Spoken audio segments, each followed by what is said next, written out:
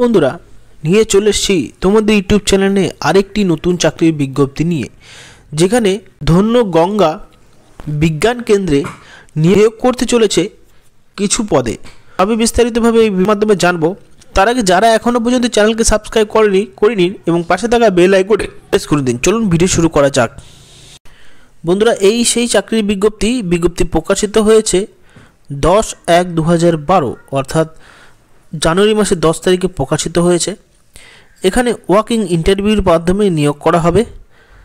এখানে নিয়োগের শেষ তারিখ হলো পঁচিশ এক দু হাজার বাইশে। এখানে যারা আবেদন করতে পারবেন, অর্থাৎ করবেন, তাদের ক্ষেত্রে এখানে বলা হয়েছে, ইন্টারভিউর মাধ্যমে নিয়োগ করা হবে। কিন্তু যেদিন ইন্টারভিউ, অর্থাৎ পঁচিশ এক দু হাজার বাইশে এটা হবে ইন্টারভিউ, ওই দিনই হবে ইন্টারভিউ, ওই দিনই নিয়ে যেতে হবে বায়োডাটার সাথে। চারটে সেটে। কি কি পদ রয়েছে? ভেটেনারি রয়েছে, ডক্টর। বিএসসি নিয়ে পড়াশোনা করতে হবে ভ্যালিড রেজিস্ট্রেশন থাকতে হবে ইন্ডিয়ান ভেটেনারি কাউন্সিলিংয়ে এবং ডিজাইবল কোয়ালিফিকেশান দেওয়া হয় মাস্টার ডিগ্রি থাকতে হবে এক্সপিরিয়েন্স থাকতে হবে রুরাল ওয়ার্কের রিলেটেড ফিল্ডে বেতন দেওয়া হবে পঁয়তাল্লিশ হাজার টাকা। রিপোর্টিং টাইম বলা হয়েছে সাড়ে দশটার সময়। তারপর রয়েছে প্যারা ভেটেনিয়ার পদে, এক বছরের সার্টিফিকেট কোর্স থাকতে হবে বিকাশ সহায়ক, পরীক্ষণ পরাশি কিষাণ এবং কি পরাণী রক্ষক। এই দু বছরের ডিপ্লোমা করতে হবে ভেটেরিনারি ফার্মেসি আন্ডারে ওয়েস্ট বেঙ্গল বোর্ডের থেকে। এক্সপিরিয়েন্স থাকতে হবে রুরাল ওয়ার্ক রিলেটেড ফিল্ডে পনেরো হাজার টাকা বেতন দেওয়া হবে, বারোটার সময় রিপোর্টিং আছে। লাইভ স্টক অ্যাটেন্ডেন্ট পদে একটিমাত্র শূন্যপদ, শুধুমাত্র অষ্টম পাশে আবেদন করতে পারবেন। সরকারি হিসাবে বাংলায় পাস করতে হবে।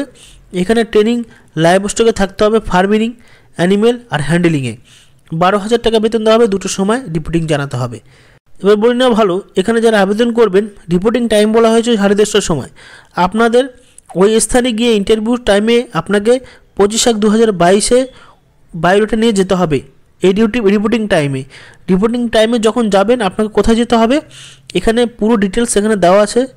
আপনাকে যেতে হবে হলো রামকিশন মিশন আশ্রমে সরগাছি মুর্শিদাবাদে। ওই স্থানে আপনাকে অ্যাটেন্ড হতে হবে এবং রিপোর্টিং টাইমে যে যেই পদগুলো আছে, সেই পদ হিসাবে রিপোর্টিং জানাতে হবে ওই স্থানে গিয়ে, সাথে বায়োডাটা নিয়ে গিয়ে। পুরো চাকরিটা কিন্তু এখানে কন্ট্যাক্ট বেসিক নেওয়া হবে।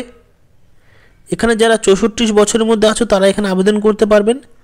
যারা পঁয়ষট্টি বছরে সার্ভিস করেছ, তারাও এখানে আবেদন করতে পারবেন।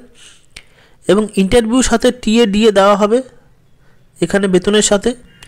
এবং candidate must centre before reporting time reporting জানাতে হবে পুরো কারেক্ট টাইমে তো ভিডিও শেষ করছি ভিডিও দেখার জন্য ধন্যবাদ।